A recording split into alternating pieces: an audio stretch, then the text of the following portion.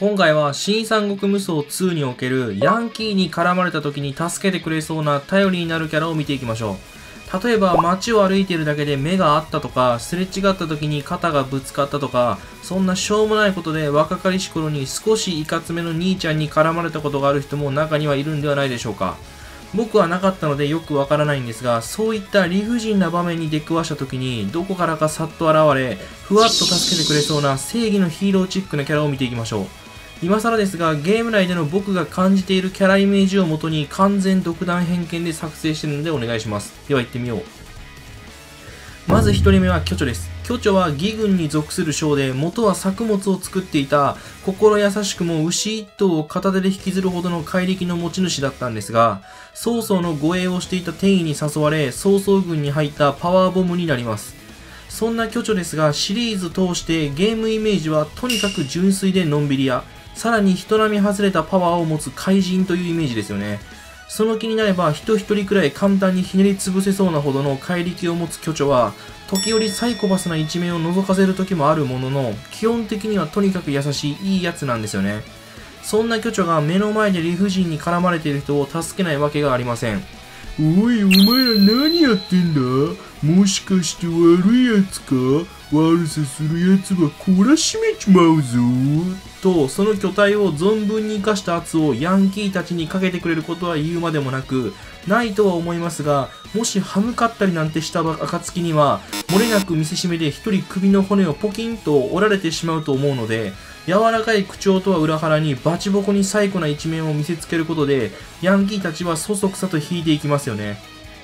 巨著は信頼した人間以外は基本的に悪い奴だからやっつけるという戦隊ものに憧れている幼稚園生みたいな感覚で戦っているがゆえに、純粋にいじめられている自分を助けてくれる純粋無垢なヒーローになるんではないでしょうか。二人目は天意です。天意は曹操の親衛隊長として常にそばで護衛したこわもての武将で粗暴な言動や荒っぽい性格とは裏腹に人一倍忠義と情に熱い男がなりたい男を体現したようなキャラクターになります。炎上で長州に奇襲を受け決死の逃亡を図る曹操を守るべく一人敵に立ち向かい自身を犠牲にしながらも見事曹操を守り抜いた逸話は誰もが知っているストーリーではないでしょうか。天意は信頼を置いている人物に対しては人当たりが良く関わりやすいタイプではあるものの敵に対しては曹操から呼ばれる悪来の名のごとく暴言、暴力、威圧、ありとあらゆる実力を行使するまさに悪鬼であるためヤンキーたちはなすすべなくボコボコにされ、場合によっては失禁も免れないでしょうね。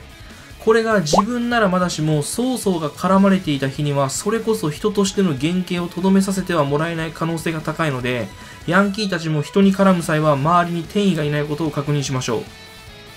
3人目は諸葛亮です。諸葛亮は言わずと知れた天才軍師で、ゲーム内では落ち着いた口調、毅然とした態度、完璧な軍略で劉備を天下三分まで導いたまさに三国志最強の軍師ですよね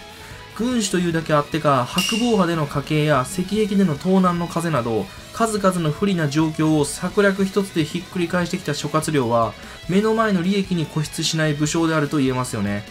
対局を見据え時には大胆に時には繊細に戦局を変化させていく頭を兼ね備えていると思いますそんな諸葛亮はまず落ち着いた口調でヤンキーになぜ絡んでいるのかと理由を問い、もし理由が目があったとかであれば、そんな無益なことをしたところで一体誰に何の得があるのでしょうか詳しく教えていただきたい。と、フランス在住の彼みたいに理論攻めでメンタルをボロボロにした上で終わりにしましょう。と、ビームは打たないまでにしても言葉の暴力で相手の繊維を喪失させるなど、実力行使ではなくメンタルを攻め倒す攻撃で比較的スマートに救ってくれるのではないでしょうか。もしかしたら諸葛亮自身自分にとって何のメリットもない人助けなんてそもそもしない可能性もありますが、助けてくれるのであれば何の苦労もなくサクッと助けてくれそうですよね。4人目は義援です。義援は職軍の武将で反骨の層がある人物として諸葛亮をはじめ劉備以外の味方からも一線置かれていた少しかわいそうな武将ですねそんな人物層が相まってかゲーム内では気味の悪い仮面を身につけ異様な雰囲気を漂わせる片言での会話バーサーカー並みに殺意にまみれた狂気ぶりは、そら反骨の層あるよね、と、反骨の塊みたいなキャラに仕上がってしまっているんですよね。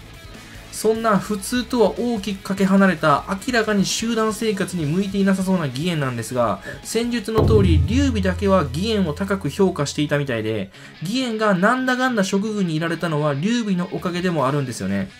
以上のように義援は確かに個が強すぎて扱いづらくはあるものの、劉備のように一度深い信頼を得さえすれば命を賭して助けてくれそうな武将だとも言えます。まあ、今回は助けてくれそうな武将なので直接的には関係ないんですが義援も根はいいやつなのでヤンキーに対して殺人鬼張りの圧力をかけることは間違いないでしょうし反抗なんてしようものなら即チャージ力の残攻撃で即死させられてしまうと思います。また助けてくれた義援に対してお礼を言っても我敵殺すと会話にならないのは考えるまでもないですね。